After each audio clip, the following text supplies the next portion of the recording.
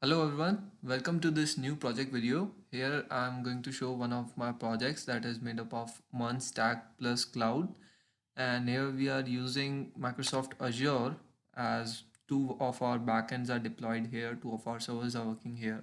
First is to interact with MongoDB, uh, any uh, queries related to video metadata and all, everything would be done in this server.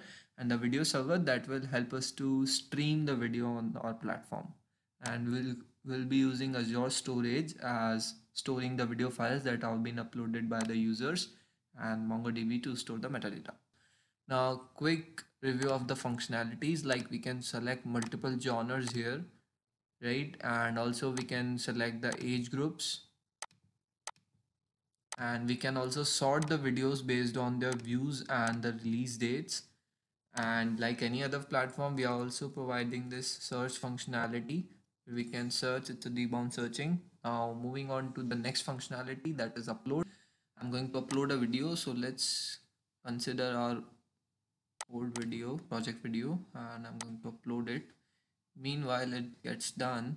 I will choose thumbnail for this video let's assume this one for now okay it's 21 percent uploaded it's a 25 MB file, so let's see how much time it takes.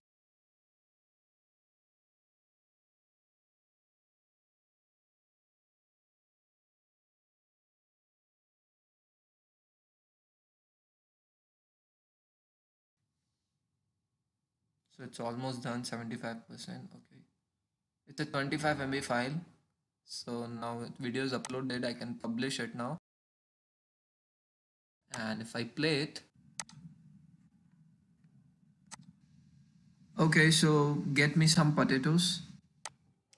Meanwhile, we can also see in our inspect that uh, this video has been is streaming in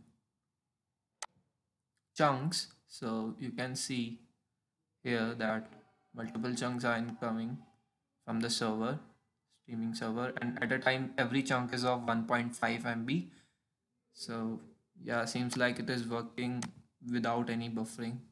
Yep that's the whole video. We can also go back um, and all that. So yeah that's our project video. Thank you so much for watching